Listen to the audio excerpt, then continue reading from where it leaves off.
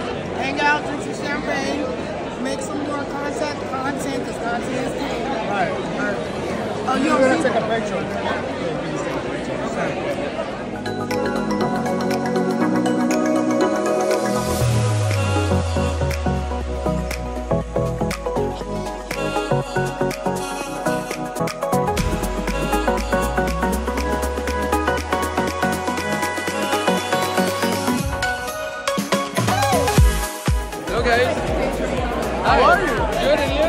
Good. Good. Happy New Year. People make up for Piper. Yeah, but it's gone. No more. You know? But still, we can still Yeah, I get. it, Yeah. So you did you test Piper first? Because yeah, this is a brand new one. Hello, Pensamenta. Yeah. We're back then. So Piper Attic Essential, which is really a, like a collection meant to be enjoyed by the champagne and wine lover, just like you guys. This is really for the gastronomy. It's long aging champagne, premium than vintage champagne. So we have like mainly Pinot Noir, but then six years of aging, so very long aging, you know. So you can get all the toastiness, the complexity, the minerality you like in champagne. maybe like a little bit worse, but like, you know, similar champagne, so it's prestige champagne. It's not made every year, so we just made it like 14 times in, in all the history. It's a very limited quantity, very high-end champagne. Lucky you, this is the very end. So How much is the bottle? this one, like retail, is like 600. Six hundred dollars. Oh man, So you, you need to enjoy it, my friend. I am.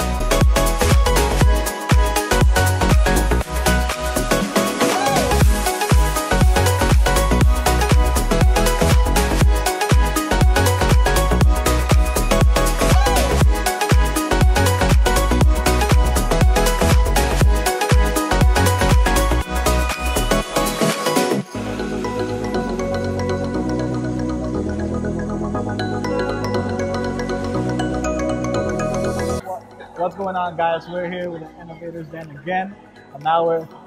Oh, we cheers already? All right, cheers. Yeah, You went there and you didn't look at us, so we're like, okay. And we're here with uh, Fleur Miraval Winery. Uh, Alexis is here. Can you tell us a little bit about uh, the company, yourself, and guys got Um, started? So I'm Alexis. I'm the uh, assistant winemaker for this amazing project, assisting uh, Rodolphe Peters in the cellar, uh, which is the main winemaker. And the other partners of uh, this project are the Perrin family from Beaucastel. And the last one, uh, last but not least, is uh, Mr. Pitt, that you all know because he's a national hero, you know. anyway, so it's PPP, Pete Perrin Peters. A partnership between Miraval Provence and the uh, Peters family from Champagne.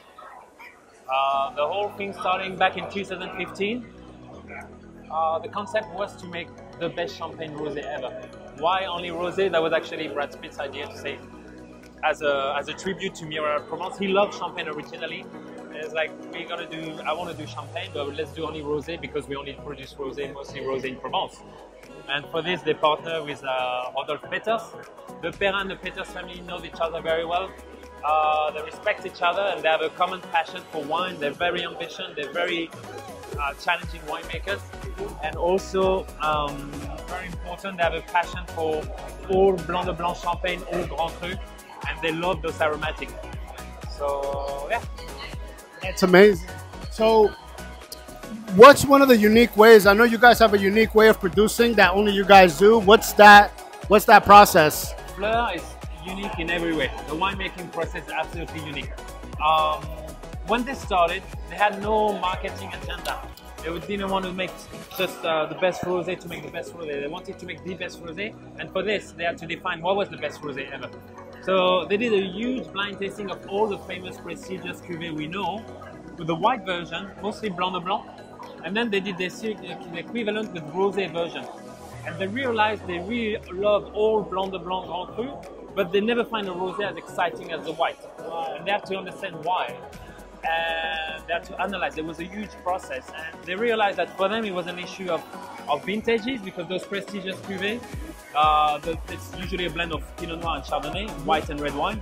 And they love the way the Chardonnay aging with this beautifully gracefulness, creaminess, buttery from, from the menu, from this beautiful village mostly, with this chalkiness. But then when it aged, the Pinot Noir and this red wine part that we bring really unba- unbalance the gracefulness of the whole thing over time.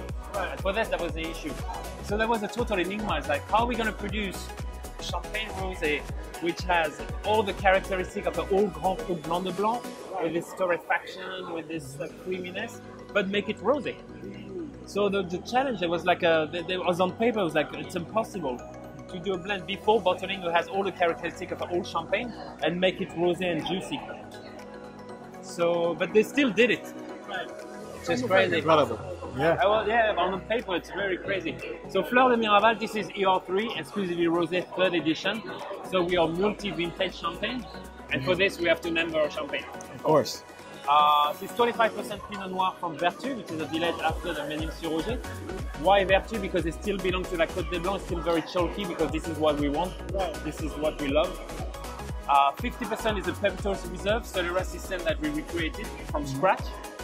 And, uh, and then it's 45%. This is the most crazy in this project. We're opening actual bottle of champagne still on lees, non disgorged on the caps with bubbles. So we disgorge them one by one à la volée. We put it back to the tank, let it sit, and then we put it back to the final blend. This way, this this characteristic of all champagne we love so much, they are inside this bottle. So each Incredible. edition we're changing vintages, and it brings very unique blend each year. So your three, for instance, is uh, Best Senior 2018, then our reserve wine of 50% crypto reserve, and then we have opened some 2009 and 2000 vintages for this. So imagine it's wine is like 18 years old. It is very crazy, and um, and the profile of it is absolutely unique. Yeah, very unique profile. So your one, two, three, they're like brother and sister if you want. Uh, they have, they're sharing this very Blanc de Blanc style rosé. Japanese collector last time told me it's the most Blanc de Blanc rosé I ever tried, which is you cannot do a Blanc de Blanc rosé, obviously. so and I'm like, oh wow, he's right because it's very choky, very Blanc de Blanc. Even the color is very healthy. Yeah. So it's very Chardonnay orientated, it's very Grand Cru orientated, very Ménil orientated, yet we just added this juicy part of rosé to make it rosé. And um, so they're like brother and sister. Each edition they're sharing, you know, like brother and sister. They look alike, so they all blanc de blanc, similar accent, but you're still unique. You still have your own DNA. Everyone is unique in the world, and your one, two, three is very unique. Why? Because the best senior is different vintage, and the remise en serve, those old bottles we open, are from different vintages as well, and therefore they have very specific profiles. Are you guys distributing in the U.S. or is it in a particular area Uh, right now? we very important part. We produce less, less, less than twenty thousand bottles each year. So it's a Wow. very, yeah, yeah, Less than very 20,000 bottles. boutique, Very boutique, exclusive uh, wine. So we're distributing in France, in Asia, in, in, of course in the US. It's not a lot. Yeah. So Oh, US is like uh, US is still like a huge important market. yeah. It's around 340 a bottle, 300 bucks maybe. Yeah. And it's not expensive because we are superstar Brad Pitt champagne. And it's, also that, that characteristic that you just mentioned. It's just yeah, we yeah, had to so- recreate a, a, a you know a cellar from scratch, a, a perpetual reserve, sourcing those old bottle of champagne to reopen one by one. There's no market for it, Yeah. so it comes with a price. Of course. That's why we are super limited, and that's why we justify the price. But um, when people say, "Oh, you're a superstar champagne," it's like yes. The Perrin from Beaucastel and Peters, other Peters, all the superstar to me. It's the best of the Brad, best. you know, he's making movies, making it online. It's great. But you know, he the star of the winemakers. Right. You know what I mean? Yeah, That's very important. And today I'm so excited to be here as well. You know, first of all because I live here three years and it's of my favorite cities in the world. But today we're releasing the uh, brand new cuvée called Petite Fleur, so the little sister. Uh, basically, be- because of this complexity and rarity, and you know, it's really something very complex. We also wanted to have something more democratic, more affordable, and more you know, like a, as an easy drinker. You know what I mean? Not every day you're drinking some uh, Opus One or DRC Right. and something so complex.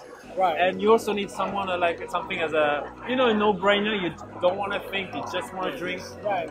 So at Petite Fleur, it's, it's very in this way. It's very still choky, blanc de blanc, but there's no remise en serve. We don't open old bottle, and there's less reserve wine. This way, the classic blend, white and red, very Chardonnay, very many still. But uh, like you have one sip, you want to drink the whole bottle. You want to drink the whole bottle. Speak about the notes that we're getting here as we're tasting. Yeah, speak about the notes we got in here right now. So this is uh, you're drinking Petit. I don't, I'm not drinking the same actually. Oh, You're drinking petit Fleur. I should have uh, yeah. Next time I bring it. to you. what, what, what will we be pairing this with? If we'll be drinking this. So interesting. Um, ER3, because it's so it's very marzipan and mandy creamy. We pair it with very delicate food like uh, umami, like tomatoes, a great pairing. It's very great by itself. We did some amazing pairing in Korea with like lobster sous with caviar, passion fruit, and burrata. ER2, ER2 is based on uh, 17 Senier, so it's way more on a citrusy bitterness, chalkiness. And we do great pairing with uh, with pigeon, with beef, with uh, uh, you know red meat. It works very well. ER1 is super salty and it works very well with like tuna tataki, sashimi, this kind of flavor. ER Petite Fleur is brand new release, and uh, so I haven't worked on a pairing yet. It's still every day is a new experience. But so far, it's more like a it's more lifestyle thing, like a you want to drink it everywhere all the time. You know, day, night, Yeah. Monday morning, Sunday Festival, night, with your family, with your partner, with your girlfriend, on the boat, on Ha- the having a picnic on Central Park. airplane. Regardless, Central, yeah. Central Park picnic works. Um, yesterday I went to Brooklyn, Dumbo. Dumbo. You know, Dumbo. you have the yeah, it's you know Amazing, yeah. sunset. You bring a nice girl, and you're like, you really know, Yeah, yeah, yeah. it's a it's a perfect uh, setting for me. Yeah. But the, this ER is way more gastronomic. This is more lifestyle. You know. But even with this one, I can I can like pair it with sashimi. You said like I can, I, can- I There's feel many it. things yeah. yeah you can do. But because of this salty, those those champagne are very salty, mineral salty, Mm-hmm. and it, it's very great to pair with. Like very very interesting. So we was on here earlier with Daniel, one of the, the producers of the event. Well, the the, the, the co-founder of the, the co-founder of the event. So we asked him a question. With the age vintage, right? Uh, what do you guys have in the vault right now for your age vintage? Uh, in the vote as a reserve, okay. Um, we are releasing right now Your 3 and Petite Fleur, brand new. We have our oenothèque, so we are, uh? We are like saving for the future and, uh, you know, like to showcase Year 1 and Year 2. But in the vault, we have Year 4, Year 5, Year 6, Year 7. Obviously, it's three years on the lees. Right. And uh, so you need time. Your champagne takes so long. It's not something you can do like this and in six months uh, be a winemaker. It's a long time process. But that's why champagne is so unique. Actually, you gotta ferment it twice. Exactly. And you have three years on the list, four years for your four.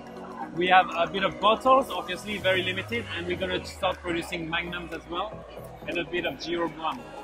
But so we have a few bottles in the vault, as you say, but it's very limited. Uh, thousand, thousand magnum, thousand magnum of Petite Fleur. Uh, EO 4 is like 15,000 bottles, so even less than EO 3. And Petite Fleur is also limited, it's less than 20,000. We are very unique and boutique. There's, there's no, we are winemaker like Vigneron orientated. There would never be a, a million Petite Fleur. Literally a, a, a champagne crystal distillery. Yeah, Exactly. exactly. That's exactly what it is. But because we only produce rosé, we we really trying to we push the boundary and we think the way of making something. And I think that's why it's amazing in the project. It's uh, you know the Perrin, the Pitt family, and the Peters family. They don't they didn't need Fleur de Miraval, but as a there's also a lot of ego involved. Like we want to produce the best champagne rosé. We want to redefine the best champagne rosé, and for this. Um, I'm- I'm so glad I joined the project. Like I'm very honored to work with those three families, and uh, and yeah, they're all the superstars to me. Like, uh, and I'm here to represent them and assist them, and uh, but I'm in the shadow. I'm not in the front. You know, like, uh, Now, what would you tell someone that's aspiring to be the next Alexis? the next. I don't know. It's like it's one of the. I used to be a sub for 15 years, including New York, and uh, and to me, like wine is art. That's how I consider wine, and uh, and to be next to a winemaker every day is like being part of this, and it's it's so it's a really amazing project. I'm traveling the world to promote it and to talk about it, and I'm meeting great people and famous people, and. Uh, and it's great. I mean, every day I'm surrounding with famous winemaker, and for me, it's like Disney here. Like, uh, yeah, this is definitely there's a, Disneyland. you know, it's like Fête Sava, there's a Charton, there's a there's bigger houses. I retried DP, like DP 12 yesterday Magnum, it was stunning. So every like uh, it's like like really Yeah. it's Disney. And for some, it's Disney because you learning how to make champagne, and you surrounding with all those famous winemakers. And you got the heritage for the brand. Exactly. It's very very crucial as well. Well, this is amazing. Cheers. Enjoy. Thank you for having me. What's going on, guys? We have Benoit over here from Champagne Tarlant. Yeah. Welcome, Benoit. Can you tell us a little bit about um, your champagne and the history behind it? Yeah, well, uh, so Tarlant, as you as you can see, the uh, Tarlant is my family name. So we have been one grower for. Uh, uh, I'm uh, the actual 12th generation. So I'm with my sister Melanie, both together. We are managing the winery.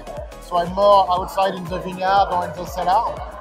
And uh, actually, she's uh, seven months pregnant. So she told me, Benoit, you're going to the to New York, and, uh, and uh, she stayed in uh, Champagne.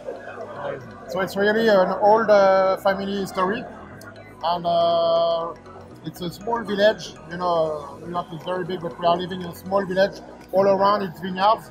And we have the one of our particularities we have the seven champagne grapes. I mean, some of uh, uh, the people are knowing the Chardonnay, Pinot Noir, and Meunier, but we have also Pinot Blanc, Arbane, Petit Meunier, and Fromenteau. So, which makes a big diversity on the grapes, even the old style grapes, which are very small quantity, but they are very particular. So, for instance, on the zero, zero, which is my non-vintage, uh, it's a blend of the old champagne grapes together and we, we what we also very keen of and when we enjoy is to make champagne with absolutely uh, zero sugar. Because normally champagne you have something like written brut, which means you have a little bit of sugar added, and we love to make the style very raw and the style very pure with a lot of uh, explosivity. Right. And I often say that it's not the sugar which is the dosage, it's more the time. We respect the time. Time is essential, is very important. So I, it actually can age better. It ages better and it uh, lets the real taste and the, the real aromas to, to be shown. That makes uh, come on here. And we are we are lucky, you know. I was I told you I am the 12th generation, and before me they were my parents, Right. but also the grandparents. And uh, when I was uh, a young wine grower, they were also the great grandparents all together. So it's really uh, it's not just a, It's a family. It's a family. It's a heritage brand. yeah, it's an heritage one exactly, and it's not just uh, giving the land; it's also living on the same area Right. and explaining. Okay, this vineyard is planted with a Pinot Noir on that direction because they, sh- uh, they chose it just after the Second World War to plant it that way. If I hadn't the possibilities to exchange with the older generation, uh, you never know why. So, so this is actually sustainable. This is sustainability. Yeah, we right? are. We can say that we are on a long-term approach. After we also try on our actual days to be sustainable. So, for instance, all the vineyards are worked uh, organically, certified organic. So, which means we, we don't put any herbicide, neither pesticide to, to grow vines. We love to make it more naturally. Right. Chill the wine to make it like a. It's called brut nature style Right. Because it's uh, also with uh, nothing added. So one of the questions we've been asking a lot of the, the, the, the reps here, what's the the oldest uh, age vintage that you have? What do you have in the vault? Actually, How many you have in the vault? you know the, the cellar is uh, we need space you know in champagne uh, you have to dig down i mean minus 35 meters is my cellar so sometimes you have to be very down to get one bottle Wow. oh, well we say maybe not one bottle but one pallet One pallet. So how many usually come per age? The oldest Um, age vintage actually uh, today for instance uh, i'm, I'm uh, pouring a 2006 Vigne d'Or which is uh, 100% meunier 2006 so if you remember 2006 uh, well it's not uh, good uh, 15 years, yeah. 15 years on the lees, which we said, so which means uh, 15 years uh, before disgorging and plus two years post disgorging. You have magnums. Magnums and even Jeroboam, yeah. That's the good stuff. Yeah, yeah, yeah. No, no, time on the lees.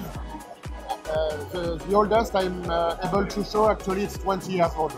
Yeah, How many years old? yeah 20 years old. How many bottles? Uh, and how many pallets? I guess uh, no, it's like small 3,000 bottles of that. Of, of course, it's just a. Uh, yeah, we don't sell everything in once. It's more split for the different uh, places in the world. But uh, sometimes uh, by uh, by having like uh, wine and food pairing, by uh, top restaurants, it's uh, where we people are asking for it. What would you say, like, how important to you is that tradition that you guys were given, right? And and how do you continue giving that tradition to your kids and, and, and families, mm. right? See, the idea, you know, I always say, I love, I love tradition. Mm-hmm. I dislike conservative.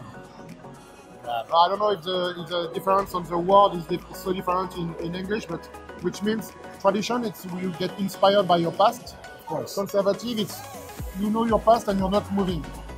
I don't want not to move. I want to be getting inspired by the past, but still continue to evolve in the future because I do believe we must be we must be always uh, Yeah, it's you know, and we all from saying Yeah. French. We never invent from nowhere. We invent from uh, experience, from knowledge, and uh, working, for instance, with old grapes. Uh, is getting inspired by the past and making it's like reinventing our work. And what you, you mentioned pairings. Why would you pair this? Uh, that, for instance, when you go at the uh, at the oyster uh, boot, and uh, that's uh, when you have a natural acidity and saltiness on your dishes, that's uh, evident and easy easy pairing. With the Ciné Tempété, Ciné Tempété is more um, a play with the Pinot, so it's more touchy, more crunchy too. You can even get some spiciness, some uh, uh, pepper, white pepper, black pepper. That's more. So you can go with some dishes which are more um, touchy and crunchy. Yeah. So just going through the experience, we're here from New York, and to have a brand and a heritage company as you guys come here to educate us, to give us the best tasting, and to educate us on what you guys have been doing as a family, as a business, and as a community over there where you guys are from. So we appreciate you guys coming here. Um, when you say um distribution, right? You guys only distribute throughout Europe, or you're, you're also coming into the US? No, no, yeah, we, we, we, we have this chance by being uh, one grower in Champagne. Uh, okay, we are very small. I mean, it's a small winery compared to the big uh, brands. We are, we can say uh, we make around uh, 150,000 bottles a year, which is, uh, but everything is made from the beginning, from the soil to the bottle. And so even if by being small, we, we export to 35 countries all over the world. So of course, the US is a, is a great market uh, who, who really love and support this kind of very precise and authentic. We can say we are making an authentic style of champagne. Uh, but also Canada, also uh, New Zealand, uh, Brazil, Italy, wherever, not where, not everywhere. But, Yeah. uh, But it's but all, What- yeah, yeah. What yeah. would retail? Why would one of these bottles retail? Uh, this bottle, it's around uh, 120 dollars, I think, something like that. So, uh, yeah. Uh, again, this bottle I made uh, 1,500 bottles. Oh, incredible. That's it. So today, it's- it's today we curated. today we will drink six of it. So you know the stock is Yeah. reducing every day. It's. It's only one of a kind. You're not gonna get the same bottles No, no, no. again. No, no. So you Like- guys already in the process of making more aged. Uh, I'm not looking to make more. I'm more looking to make more experience and sensation of the taste. You know, I'm a wine grower, which means I just take care of my own vineyard. I don't buy grapes from others.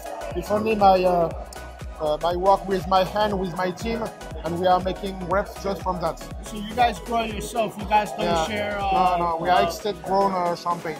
Oh, that's Everything amazing. is made by our own. So you would say that uh, you guys use wood to age or VATs? Excuse me? The one uh, when you guys store it. Yeah. When you store it, when you store the champagne, yeah, yeah. it's in it's in, in wood, right? Yeah, it's a small uh, barrels, small Barrels, wood barrels. what Yeah, exactly. saying. Yeah, yeah. All right. No, it's not big tanks. We always keep very small, uh, small contents.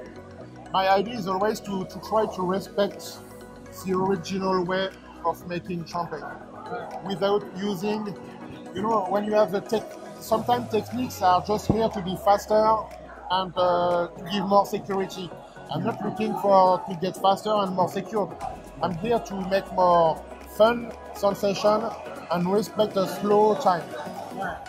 I know it's French respecting the slow time, but it's important, particularly in this world, you know. You imagine when you have to wait for 15 years before selling one of your creation, you need to be patient. Yeah, that patience is key. Something we have to learn. I learned it by the chance, by the help also from the old, from the oldest generation. You know, when you're very young, you're a bit like uh, Impatient. frustrated. Yes. But after a little while, you, you learn that the wine gets much much better. Yeah. And what would you uh, like? How would we like find out more, or our viewers find out more about your your, your brand, and like how where would they learn more about like the history behind it? Or, like, let's say our viewers want to find out more about Tarlant and where. Ah, uh, again, it's more uh, people who we are more, comment dire, connected to the how can I say that the, the it's, more like a direct communication. So, for instance, uh, Yeah. of course, we are more on the social media tools. We don't have like a big campaign. It's more like uh we have a big community. We have a big community of very champagne fans all over the world. Again, what is good is uh, when I'm coming here, we are in front of different churches, which is great. But it can be uh, in uh, two weeks. I will go to uh, Seoul in uh, Korea, and it will be another experience. I always say, my wine, they are, it's living really when uh, when you drink it. Yeah. When I make it, I do my job, you know. Yes. But the real life of the wine is when you drink it, and you will make your your experience, your fun of the moment. And it will be today in New York, but uh, in two weeks it will be in Seoul, and I'm sure I will be uh, uh, not shocked, but I will be very surprised, and it's gonna be uh, what is funny with our job. It will be another story for for the wine itself. So like, you know, we, we definitely want to follow you. I want to make sure that you You guys, check you guys on uh, on at Tarlant Instagram. on Instagram, yeah, yeah. Incredible. Oh, it's my sister. There is no uh, big uh, Campaigns uh, campaign behind. There is no PR. It's just my sister and I. We show what we are doing, the reality. We And post uh, the harvest. We post the winemaking. We post everything. but it speaks for itself, right? Like the product Yeah. speaks for itself. So And I hope when you open the bottle, you also get our voice directly. With no, there is no filter in between. It's just you must. It's like traveling. When you drink the bottle, it's like you're traveling to Champagne. incredible. Thank you so much. We Merci. appreciate your time. Thank you very much. It's been a pleasure. Merci. Thank you guys. Merci. What's going on, everyone? Welcome to the Innovators Den, and we're here at La Fête du Champagne with one of the co-founders of the event, Daniel Johnnes. How are you, John? I'm great. You want me to hold this? Yeah, yeah, yeah. I'm great. Thanks for coming. Thank you for having us. I mean, it's an incredible event. Can you tell us a little bit about what got you started and how you came up with the idea of this event? Well, look, I'm a uh, you know sommelier by training. Uh, I started 35 years ago, and I'm just a wine lover. Uh, all kinds of wine, French wine primarily. I drink wines from all over the world, but uh, I learned in France. I lived in France. I spent a lot of time in France, and that's uh, sort of the homeland for me for wine. And uh, I started a Burgundy festival 25 years ago called La Paulée, La Paulée in New York. And uh, after that, I said, well, you know, I love other wine regions. I don't want to just focus on one as much as I love Burgundy. Uh, I want to represent and promote the other great vineyards of France. So uh, Champagne is is really close to my heart. And talking to my my partner Peter Liem said, let's do something similar to what we do with Burgundy and really promote it and draw people into it and educate them and get them excited about Champagne. So, So- that's how it started. So you can actually uh, the the event is also part of a course, like a like a system to be a sommelier. No, not at Okay. all. Okay. No, this is for consumers. This is a consumer event. So this is not for trade. Anybody who's a wine lover Right. and a consumer can come to this event and they learn because they're tasting champagne from 30 of the best champagne producers in, in Champagne. In Champagne. Uh, you know, I call it educational because it's an opportunity it. for people to learn and talk directly to the winemaker. Right. You don't get that opportunity very often. Not at all.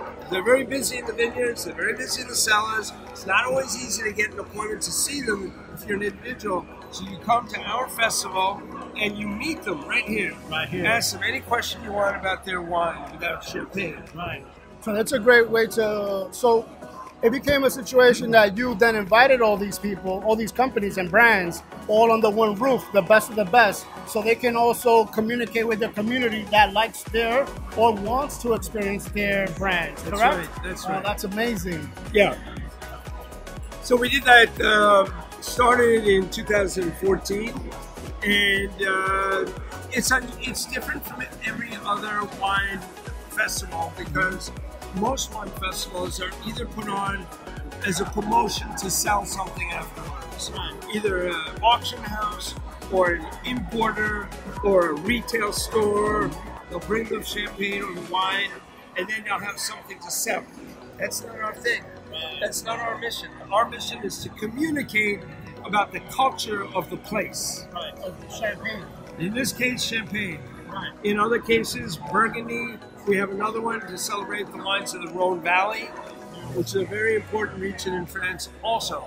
So uh, that's it. All these people here today, 600 or 700 people coming here because they're just passionate about the wine. They want to have an opportunity to taste it.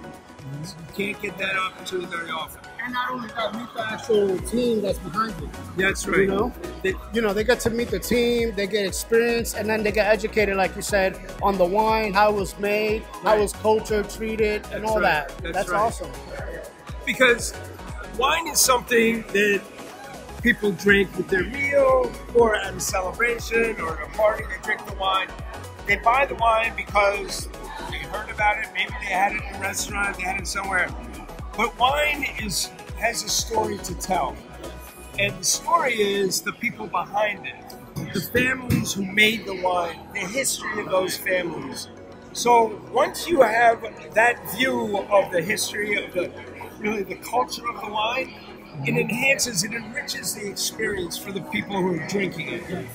And that's a really important part of what we do is getting people to meet the winemaker, tell the story. Like, for example, we had a, uh, one of the winemakers here tell the history of his champagne house. It's been in business for almost, well, they've been producing grapes for almost 400 years. Wow. His family has been making it for 100 years now.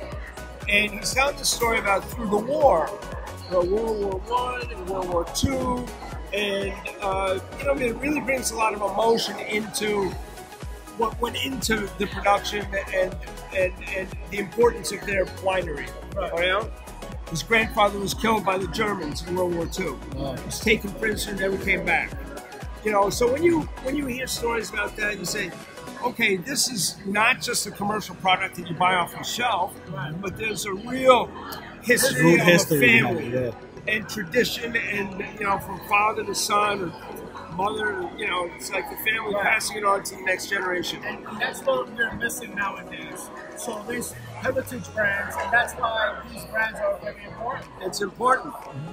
So that's that's what we do. That's Can, you speak a little bit about like the schedule? I know there's there's a lot of different events that constitute the Fête Champagne. Yeah, so it's uh, really something that takes place over three or four days. Uh, today we're culminating on the, the biggest part of the festival. Uh, we have this tasting here for 600 people, but last night, for example, we had a small wine dinner for 24 people. A very exclusive dinner, very high end. It was a champagne house that brought out for the very first time a tasting of nine vintages of Bollinger Vieilles Vignes Françaises. It's never been done before. Fantastic. So the guests had an opportunity to buy a ticket to that. It was a very expensive ticket, but for what it was, for that experience, it was not that expensive. It was almost three thousand dollars a seat, but they got to be part of history. Right. So that's 24 people. Here you have 600 people. Tonight we have the gala dinner with three Michelin star chefs for 300 people. We have some seminars that are just educational seminars talking about this, the, their, their, their vineyards and their production. And it's a very unique uh, event because when people don't know is that the age, vintage age, uh, is probably held for 10 years, 15 years, 20 years, aging. so so you they only made 10 of them or 5 of them or 100 of them. And when you get that bottle, it's a different experience, you know? Oh yeah, and it, I mean, and, champagne does age. I mean, there, there's some bottles that we uh, have tonight that are being, I don't know, from the 50s and 60s, you know, 50, 60 year old bottles of wine. So people drink champagne like all wine, mostly young. But if you age it, you have a different expression of it. You know, give it a little time to really develop and express all its nuance, all the complexity of the wine. So we asked, we asked our viewers if they think that magnums are just for hype or No. they better quality or there's a better experience. Can you answer that? It's the same wine, but it ages differently. It ages beautifully. Uh, I think a Magnum is the best size bottle for enjoying wine. It really does. It preserves it longer. It keeps it fresh longer. Uh, it, it sometimes takes a little bit longer to evolve. Sometimes in a Magnum because it's slowly evolving. when you open it too young, it's not fully expressive yet. Well, But that's perfect though, right? it's a Magnum's the best. And there's an expression that says you need at least two people to drink a Magnum of wine, as long as one of them is not drinking. That's that's what it's uh, That's a good answer. He hit it on the dot. you know what he's talking about. So, so where would you say that someone looking to, to be a part of this event and learn more about your events, where can they find that information? Well, uh, a consumer who wants to attend the event, they go to LafeteNYC.com. Lafete is L A F E T E N Y C.com. Uh, that's our website. Uh, and, and, you know, they can get the, you know, the advance notice, they can get uh, all the information they need for the event. Now, we're not going to do it again until a year from now. But we have another one at the end of November that's going to be wines in the Rhone Valley. Really spectacular. Mostly red wine, but a bit of white wine also. Um, and it's a very popular region today. Uh, it's a very historic region. It's a very historic region in France. There's some of the best wines from uh, the south, made from the Grenache grape. From the north, primarily the Syrah grape. Um, but the wines are spectacular. Sometimes they're a little bit more full-bodied and powerful, which is something people like, especially when you get into the winter, colder seasons. Uh, so that's going to be in November, and that's called La Table.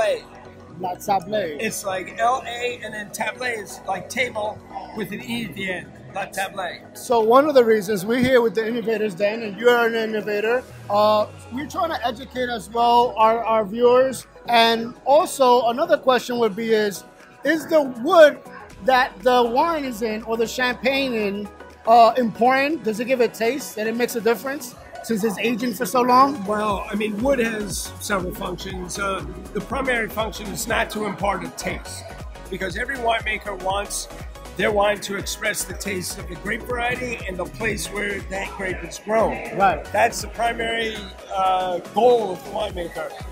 The function of the oak is really an oxidative, an exchange with oxygen that helps in the evolution of the wine. Okay, now not everybody is aging in oak. Some people use oak, some people use stainless steel tanks, some people use uh, porcelain-shaped vessels. Wow, I didn't know that that. don't that don't uh, have any exchange of air. But really, the oak is a um, is something that's been used historically for many decades, and uh, something that's a uh, a function really to preserve the wine and help it age, and also you know evolve. Now, what would you tell a young sommelier that's looking to become the next Daniel Johnnes? Say good luck.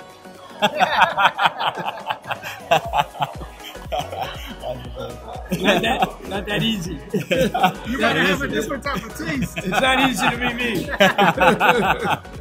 That's amazing. It's amazing. So, You're one of a kind, and that's why we're here with you, Daniel. Uh, because you put this, you put this team together. You create, curated the best of the best. You curated the best teams to help you produce this event, and you got the best of the best people in the room right now. So it's an honor to have you uh, and to be able to experience this with you and the community that you built. Well, thank you. That's very nice. That's very kind of you. And, but you hit it on the head that, you know, I didn't do this alone. I had some ideas and uh, some motivating, you know, reasons to do this, to bring a team together. But when you say the best, you know, we, I, I believe that when you look for talent and you find talent, you want to keep talent. You want to keep them uh, engaged and motivated. And when you find people who love what they do, then it brings out the best in them. And I've been very lucky to have a team to work with who are all like-minded. It goes to quality first. The end goal is to please the customer, hospitality, to please the winemaker, showcase their region and their wines, and to uh, and to bring a, a community of sommeliers together, also to educate them, so they learn from the experience also and can take that back to their restaurants or their wines or wherever they're working. And you know, it's like a ripple effect. And so, yeah, I have something to do with it, but it's a team that's been built that really makes it successful. Great job. yeah, no, that's Thank you. fantastic. Very inspiring, very innovative, and Yeah. it's making a difference because we're going into sorry, we're going into a time now that we're going from culture culture things and things that we grow as a family and heritage. So now everything is digital. So people only see pictures and videos of this experience. But when you can actually come and experience it the next coming years, it's going to be very impactful for our communities.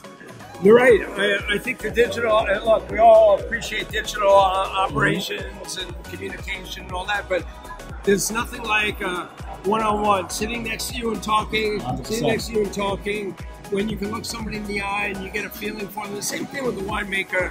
When you understand you know, who they are and how that person is like expressed in their art, you know, because they're artisans, you know. And um, I think that that's sort of the intangible thing in the world today that people are not getting enough of.